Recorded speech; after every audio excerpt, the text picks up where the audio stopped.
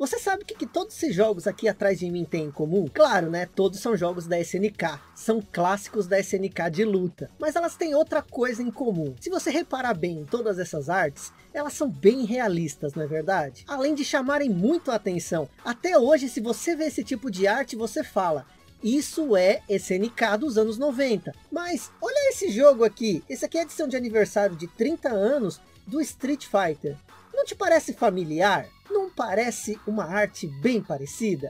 Pois bem, tem tudo a ver, porque o ilustrador de todas essas capas foi a mesma pessoa, o mestre Shinkiro. Você não sabe quem é Shinkiro? Pois bem, hoje nós vamos descobrir juntos quem é esse ícone responsável pelas melhores ilustrações que tivemos nos anos 90. Sabe aquele pôster de locadora que você não se esquece? Como esse aqui, ó. Esse aqui é da época. Talvez se não fosse por Shinkiro, você não ia se apaixonar por todos esses personagens. Iori, Kyoko Zanagi, Leona, Mai, Terry, Gizzy, Blue Mary. O design de todos esses personagens passou na mão desse mestre. E hoje nós vamos conhecer juntos a história de um dos maiores ícones da SNK, que é pouco conhecido pois nunca foi citado pela SNK como criador dessas artes, mas que sem dúvida é um dos maiores responsáveis pelo sucesso de The King of Fighters, de Art of Fighting, de Fatal Fury nos anos 90.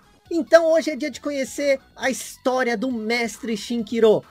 Então, bora!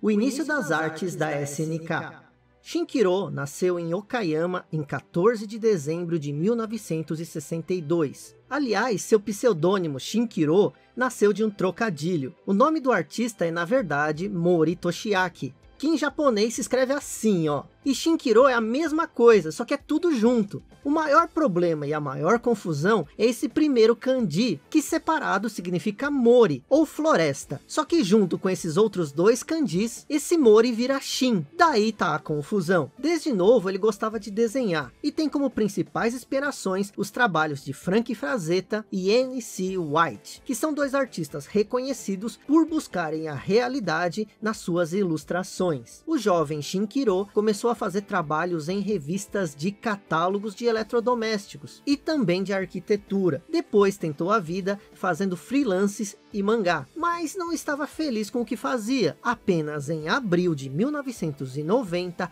ele foi contratado pela SNK, que estava em franco crescimento na época. Começou fazendo artes promocionais para diversos jogos da companhia. Seu primeiro trabalho foi essa arte aqui, ó. Essa arte para o mercado europeu para um jogo de navinha, o Alpha Mission 2. E dali ele não parou mais.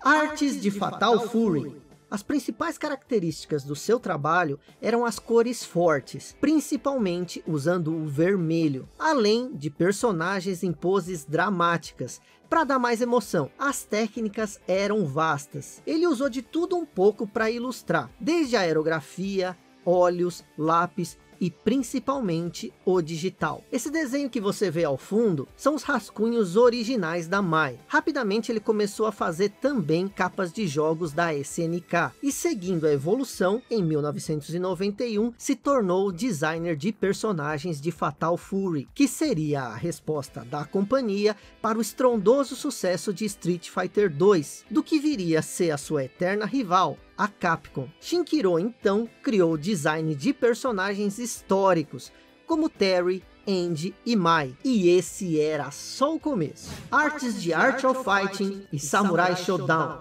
Shinkiro se destacava em 1993, com a criação dos personagens de Art of Fighting, como Ryu Sakazaki e outros lutadores. Já em artes promocionais, destaca-se os trabalhos de Samurai Showdown 2. Ele não era o artista principal da época, mas as ilustrações são lembradas até hoje, como algumas das melhores dele, e foram também as mais usadas nas divulgações pelo mundo, mesmo ele não sendo o artista principal da franquia, olha só, hein? Mais ou menos nesse período, Shinkiro começou a trabalhar em um novo jogo da série Fatal Fury, que contaria a história de Gizzy, Jeff Bogart e Takuma, e tudo que une as franquias Fatal Fury e Art of Fighting. Mas o jogo foi cancelado, e tudo que se tem até hoje é essa arte de Shinkiro, com um jovem Guise e uma freira em destaque. Mas me diz aí, qual a sua teoria para o enredo desse game? Me fala aí nos comentários. Só que você tá ligado, né? Sempre com sucesso, vem críticas também. O termo Semi-Face Syndrome é uma crítica a desenhistas que fazem personagens com rostos parecidos, digamos assim. Shinkiro foi uma das pessoas que popularizou esse termo, pois ele foi muito acusado disso. Pois, segundo os críticos,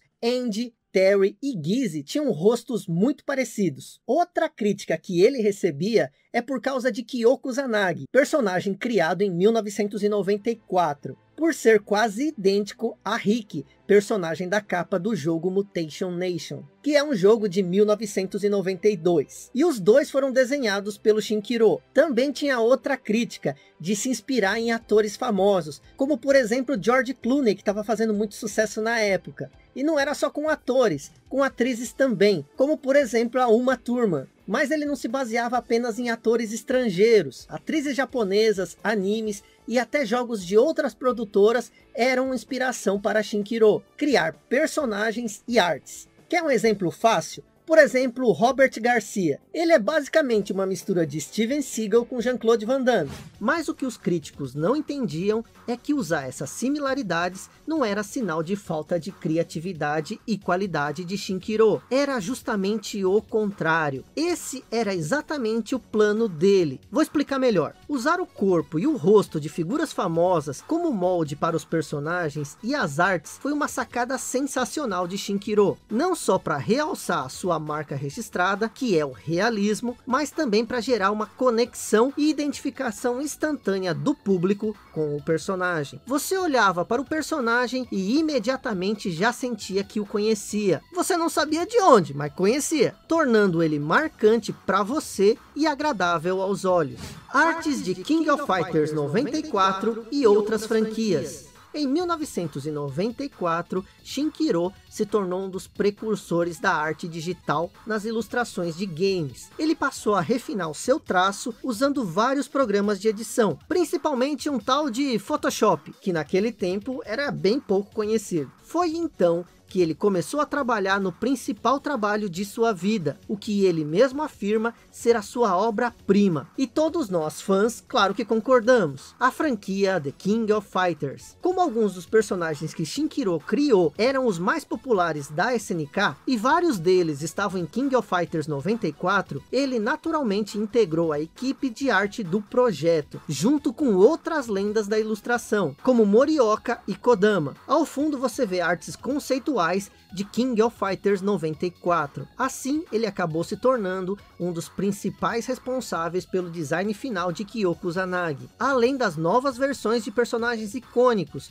como Athena, Ralph, Clark e Kenso. E depois ele criou Kusanagi como conhecemos hoje. A arte promocional de King of Fighters 94 fez tanto sucesso que ele começou a receber muito mais trabalho e participar de muito mais jogos dentro da SNK, como Garou Mark the Wolves, Kizuma Encounter, Last Blade e claro, um dos seus mais famosos trabalhos, as ilustrações de Metal Slug. As artes de King of Fighters 95 a King of Fighters 98.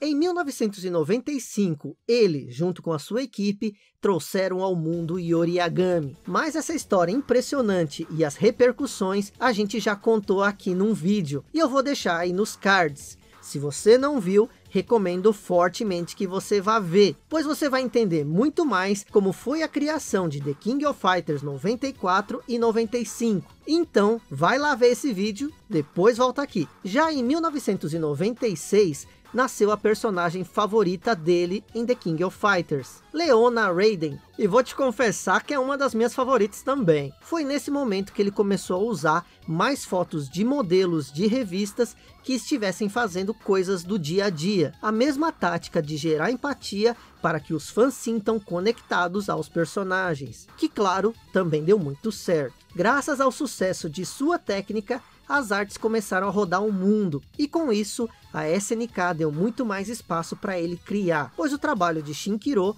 estava ajudando em muito nas vendas dos games que ele trabalhava. Assim, a SNK se expandia mundialmente, e nesse período chegou no Brasil. Ela começou com a inusitada tática de não vender os fliperamas, mas sim apenas as placas, para qualquer um comprar montar e revender. Assim a companhia chegou em todos os cantos do Brasil. E não foi só do Brasil não, de vários outros países da América Latina, como destaque para Colômbia, Peru, Argentina e México. Com a posterior criação da fábrica da SNK na Zona Franca de Manaus, as artes de Shinkiro começaram a ser impressas no Brasil e distribuídas não só no país, como em toda a América do Sul e Central. Dessa forma, onde você ia nos anos 90, sempre encontrava uma arte de Shinkiro e um fliperama The King of Fighters seja em bar, padaria, locadora, shopping, onde for. Inclusive, era fácil encontrar as artes dele em revistas brasileiras de videogame. Foi assim que ele nos apresentou e nos fez ter afinidade e conexão com personagens carismáticos da SNK. As artes de Shinkiro tomaram o mundo, até nos escritórios da SNK dos Estados Unidos era possível ver as artes do mestre por todos os lados, como você pode ver ao fundo nesse vídeo bem antigo. As artes de King of Fighters 99 e 2000. Com a nova saga The King of Fighters começando, a saga Nestes, Shinkiro resolveu se reinventar, mas sem perder a sua identidade. Assim, apesar de não ter sido criador de K e Máxima, ajudou a criar e apresentar os novos personagens do The King of Fighters 99 e 2000, e com grande estilo. É impossível você não ter visto e sido impactado por essas artes incríveis. Em 1998, entrou na SNK um jovem fã dos trabalhos de Shinkiro, chamado Hiroaki Hashimoto, cujo objetivo era apenas desenhar tão bem quanto o artista. Apesar de ter um pôster de The King of Fighters reprovado por Shinkiro, Hiroaki ouviu todas as críticas e começou a aplicar todos os conselhos que o mestre dava. A partir de então, criou-se uma relação de aprendiz e mestre entre ambos, com Hiroaki se tornando protegido de Shinkiro dentro da companhia, e passando a ser por muito tempo o único a fazer as artes promocionais para a franquia The King of Fighters, além de Shinkiro. Porém, em 2000, a SNK começou a abrir falência, e Shinkiro foi contratado pela sua maior rival, a Capcom, empresa que ele está até hoje. E por coincidência, o primeiro trabalho dele na empresa foi justamente com o jogo The King of Fighters. Não entendeu? Eu vou explicar. Shinkiro foi um dos ilustradores do jogo Capcom vs SNK, e também da continuação do jogo. E em 2003, ainda ele fez a arte elogiadíssima do jogo SNK vs Capcom. Shinkiro ainda tentou deixar Hiroaki como principal desenhista de The King of Fighters mas ele não conseguiu. Em 2001, outro ilustrador da empresa chamado Nona assumiu o serviço. Só que o pupilo assumiu o comando em 2002 e repetiu a dose em 2003. Desde então, mesmo hoje sendo freelancer, Hiroaki sempre trabalha de alguma forma com quase todo o jogo lançado da franquia principal de The King of Fighters, representando assim o legado de Shinkiro. Artes da Capcom em jogos de luta. Com o tempo, Shinkiro deixou de ser responsável pela criação do design de personagens, focando apenas em fazer ilustrações e capas de vários jogos da companhia,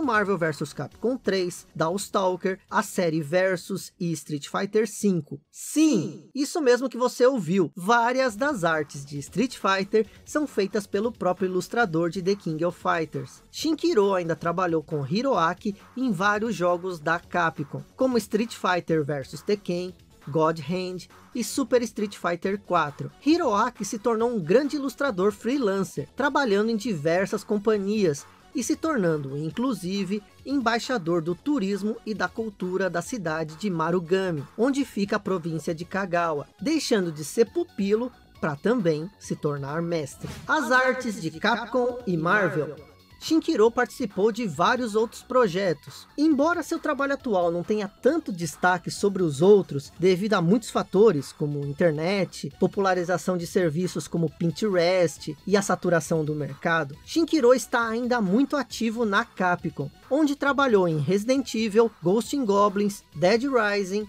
Bionic Commando, Monster Hunter e Devil May Cry 5. Além disso, ele também trabalha nas editoras Udon e Marvel, fazendo capas de algumas HQs de Street Fighter, Darkstalker e do Homem-Aranha.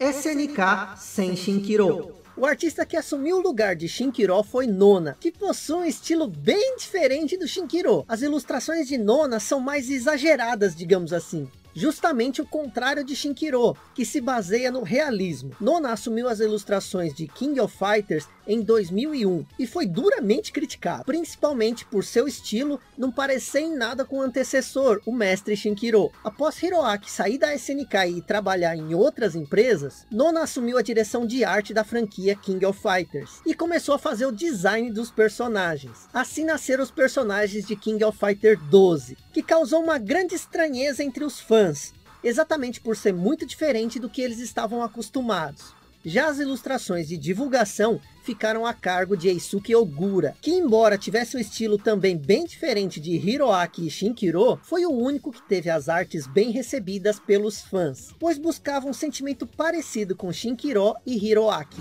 Em 2018, no aniversário de 40 anos da SNK, foi realizada uma exposição de artes com toda a história da companhia. As artes que foram destaque foram as de Shinkiro, mesmo ele tendo deixado a empresa 18 anos antes. Embora os quadros sejam bonitos, bonitos e muitos querem cópias deles, eles trazem lembranças amargas. Shinkiro, assim como vários compositores de músicas do The King of Fighters, jamais foi creditado pela SNK nos jogos que ele participou, nem mesmo nos King of Fighters. E isso é bastante significativo, pois mesmo assim, ele é até hoje reconhecido e reverenciado pelo que fez. Isso reforça o tamanho, a relevância e a importância que ele tem e seu trabalho possui. O irônico é que assim que foi para Capcom, já no primeiro game que ele participou, que foi exatamente Capcom versus SNK, ele surge nos créditos do jogo. E nesse game, ele só fez as ilustrações dos personagens da sua antiga empregadora, a SNK. Ou seja, quem pela primeira vez creditou abertamente pelo que ele criou em décadas na SNK foi a Capcom. Em uma rara e antiga entrevista ao site da Capcom do Japão, uma das pouquíssimas vezes em que ele veio a público, enquanto fala de novos artistas, Shinkiro meio que enviou uma mensagem para si mesmo. Abre aspas. É uma coisa maravilhosa poder fazer o que você ama para viver. Mas, depois de fazer o mesmo trabalho por um longo tempo, fica fácil esquecer o motivo de estar fazendo isso. Por favor, não esqueça por que você começou a desenhar. Fecha aspas. O padrão Shinkiro de qualidade durou bastante tempo na SNK e moldou a identidade e as lembranças que temos de vários jogos e personagens da empresa é difícil mensurar o impacto e o legado dele. A importância de seu trabalho não só para a SNK, mas para os jogos de luta em geral é imenso, visto a história, participações e a quantidade de divulgações e personagens icônicos que ele criou. Sem Shinkiro, talvez a popularidade de vários personagens e seus jogos seria diferente. Então, se hoje você gosta de algumas franquias ou se identifica com alguns personagens icônicos da SNK, talvez você nem perceba, mas em grande parte é por causa de Shinkiro. Mas agora eu quero saber de você. Qual a sua história com essas ilustrações de The King of Fighters dos anos 90? Sabia que essas ilustrações icônicas eram de Shinkiro? Sabia que os personagens que você tanto gosta foram desenhados por ele? Quero saber a sua história. Me fala nos comentários. Ah, e não se esquece, me segue no Twitter e no Instagram, arroba Vitorisui. No Twitter a gente pode conversar de tudo, séries, filmes, coisas que eu tô fazendo, inclusive games. E no Instagram eu posto itens que eu ainda não postei aqui além de ter conteúdo extra no IGTV, a plataforma de vídeos do Instagram. Então me segue lá, Vitorisui. Twitter e Instagram. O roteiro de hoje é da equipe do Renato Cavaleira. O link do Twitter dele está na descrição. Ah, e se você quiser saber mais da história do Shinkiro, tem um outro vídeo do Coffee da Depressão que aborda outro aspecto da vida dele. Então é isso. Eu sou o Isui, obrigado a você que viu o vídeo até aqui e até mais.